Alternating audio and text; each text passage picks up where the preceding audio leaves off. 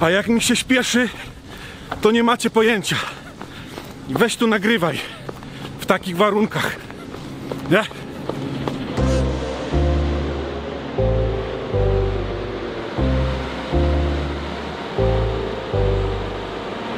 Jasiu w oknie. Halo? No pan tam takiego oleju teraz dolewa i smaruje. Zaraz będziemy wyjeżdżać w kukurydzę.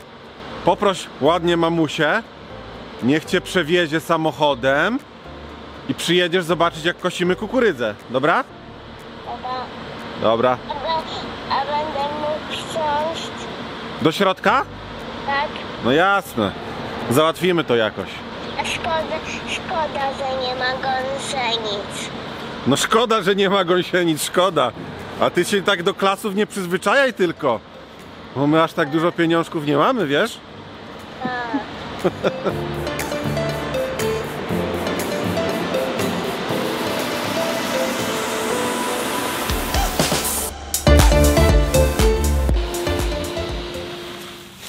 Bardzo dużo resztek pożniwnych.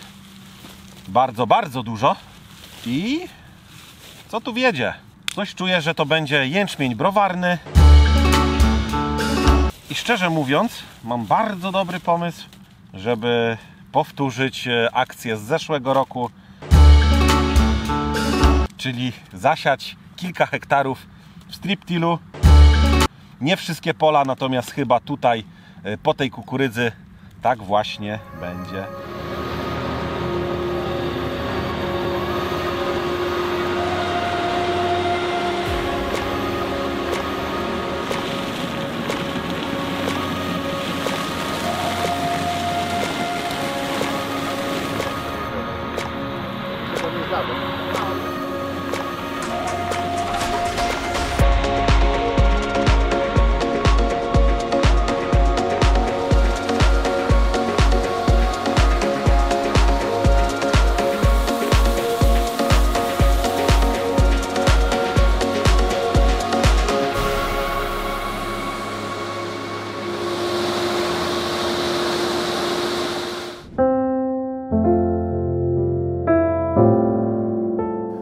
Dzień dobry, nazywam się Grzesiek, interesuję się rolnictwem. No oczywiście tak to nie będzie wyglądało i ta kartka nie jest po to, żeby sobie tutaj ściągać. E, Mam tu zapisane plony kukurydzy. Przepraszam Was za tą taką wstawkę e, w środku odcinka, tak znikąd zmieniam tło, inne ubranie, ale wiem już e, jakie jest planowanie i fajnie, żebyście też wiedzieli. Cały sezon chodzenia po kukurydzy, przy kukurydzy i mamy takie oto wyniki. To pole które nazywa się transformator, bo jest tam taki transformator. E, mamy tutaj odmianę Arbori z Kozadę. Wyszło dokładnie 13,1 tony. E, na mokro wilgotność kręciła się w granicach 35%. E. Kolejne pole, tamo, tamo, tamo, co Wam będę pokazywał. pokazywał. E, pole z Ostinati i tu wyszło najwięcej 13,3 tony. Jestem mega zadowolony z tych wyników. E, Jeżeli chodzi o tą kukurydzę z czerwcową, a nowi wrócimy do tego w osobnym odcinku. Natomiast tu jest dobrze. Jak Wam się podoba taka białoruska? Jak Wam się podoba taka białoruska wersja maszyny kombajnu? No, powiem szczerze, e, bardzo prosty kombajn. Nie wiem, czy można powiedzieć, że taki odnowiony MDW. Ale jeżeli chodzi o mm, prostotę, dostęp do, e, do różnych tam części, bo też zaglądałem pod maskę, e, jest spoko, jest tam silnik e, 380-konny e, rzędowy Mercedesa, czyli to samo co u mnie w MDW. Cena? Wydaje mi się, że pół banieczki jeszcze spojrzę na taką ulotkę, ale, ale coś koło tego będzie się kręcić. Jak to łatwo dla rolnika przychodzi mówić takie rzeczy, pół banieczki, pół banieczki, no bardzo dużo kasy, jakby nie patrzeć. Oczywiście to jest wszystko mm, e, wkalkulowane mm, w koszty. To jest maszyna, która pracuje, maszyna, która ma zarabiać przede wszystkim. E, Ostatecznie po odliczeniu wszystkich rzeczy, już nawet nie wspominając o kredycie, już o tym nie mówmy, e, ale kosztach, które towarzyszą eksploatacji, No to już tak dobrze to nie wygląda, żeby na tym były jakieś super wielkie kokosy. Kokosy. Kokosy. Kacper. Jak tu zarobić jakieś kokosy? Co tu zrobić, żeby zarobić? Co zrobić, żeby zarobić i się nie narobić? Na pewno nie pakować się w rolnictwo. To tutaj tak to nie wygląda. Tu trzeba się jednak narobić, żeby cokolwiek zarobić.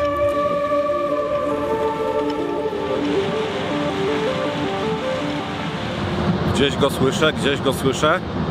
Gdyby ktoś z Was się zastanawiał, e, jak tutaj wyszedł strip kill e, i ta uprawa w moim wykonaniu, znaczy w wykonaniu siewnika e, Missouri konkretnie, tej technologii, naprawdę pod kątem porównania do moich kolegów z okolicy, ale też z innych rejonów Polski, gdzie te uprawy były różnego rodzaju, od orki, bez orki, do właśnie strip killu, trzeba jasno powiedzieć, że nie ma tutaj dużych rozbieżności.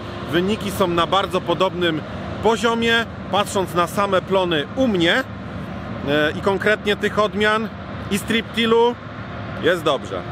Podoba mi się to coraz bardziej. E, Jak sami wiecie, nie ukrywam tego.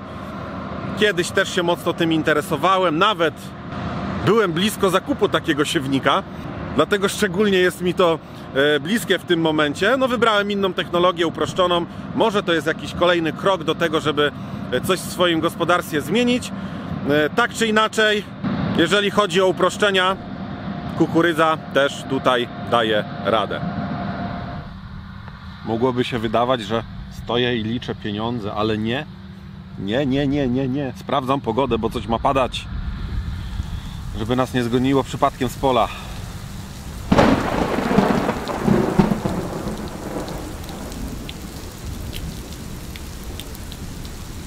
I ruszyli wszyscy z grubej rury z kukurydzami w moim rejonie, mimo trzech ciężarówek w obiegu.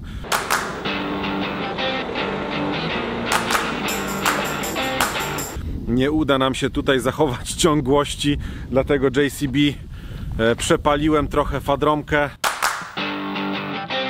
John Deere już na polu. No i niestety będę musiał wysypywać to na halę, a później przerzucać. Nawet może jeszcze dzisiaj, jutro wszystko chcę wywieźć, ale, ale wiadomo, dwa razy przerzucanie. Niestety. Teraz ta moja żółta przyjaciółka pokaże na co ją stać.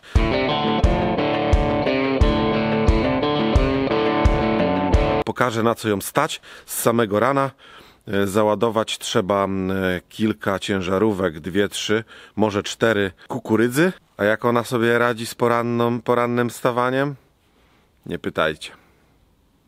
Nawet nie będę próbował działać tutaj bez pewnej modyfikacji. Koreczek odkręcony żałeczka i dożylnie ratowanie sytuacji. Można to porównać do takiego porannego wchodzenia pod ciepłą kołderkę. Ta fadroma też tego potrzebuje niestety z rana. Bardzo ciężko odpala, a tu robota czeka.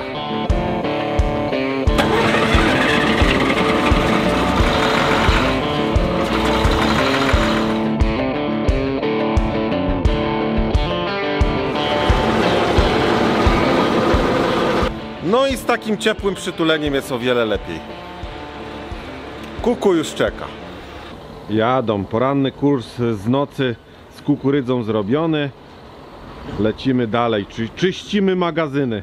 Uuu, ciasno się tu robi. Hu, hu, hu.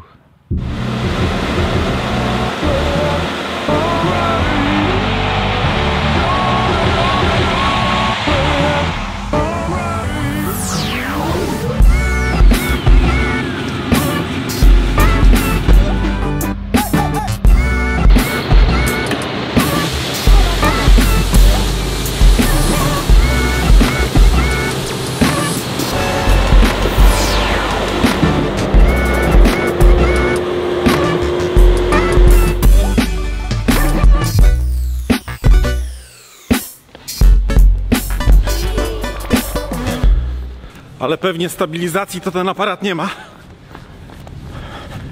A jak mi się śpieszy, to nie macie pojęcia. Weź tu nagrywaj w takich warunkach. Nie?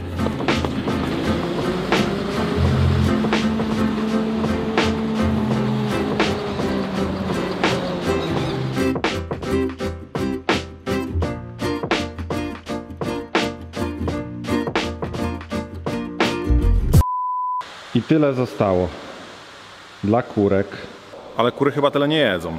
Jeżeli chodzi o takie podsumowanie kosztowe, gdzie e, opowiem o tym, jakie koszty poniosłem przez cały sezon i o tym, ile, ile zostało, ile zarobiłem, a może ile straciłem, e, to zostawię sobie to na inny temat. Natomiast teraz tak bardzo pokrótce przybliżone plony.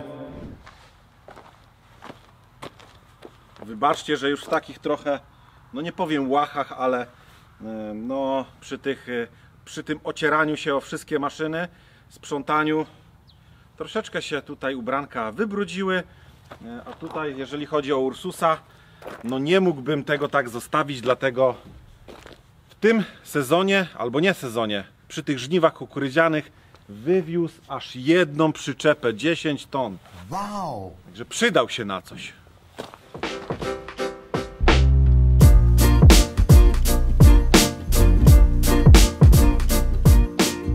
A teraz pokażemy, jak ten ciągnik y, Ursus jest bardzo zadowolony z tego powodu.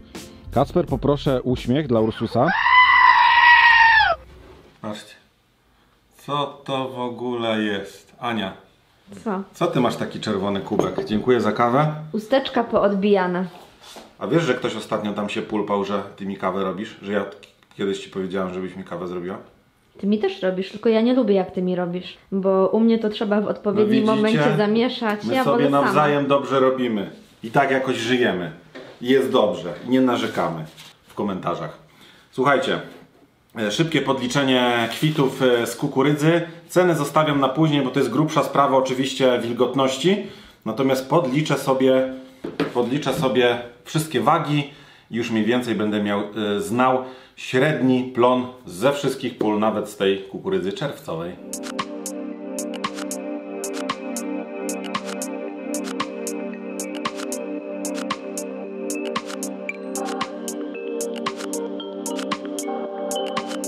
Moi drodzy, aż mordka się cieszy. Co mi tu wyszło? 377,36 e, tony. To sobie dzielę, już sobie w farnecie sprawdzam, 30 dokładnie, przecinek 72 hektara. Średnia na mokro 12,28 e, tony. Średnio oczywiście. E, I pamiętajcie, że prawie połowę, nie całą połowę, e, 12 hektarów miałem, miałem, miałem, miałem, miałem zasiane w czerwcu, czyli jest dobrze. Zaraz będę jeszcze podliczał, e, jak wyszła właśnie ta czerwcowa, ale podejrzewam, że tam coś koło dychy się kręciło, nawet ponad lekko.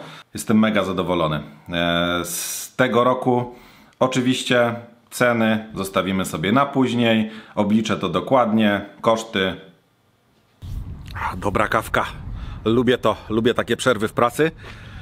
Gdybyście czekali na to, że jak to rolnik zacznę tutaj narzekać na to, co mnie w tym roku spotkało, e, plony, ceny i tak dalej, i tak dalej, wszystkie niepowodzenia, zepsute maszyny, to nie, to nie to miejsce, nie ten kanał.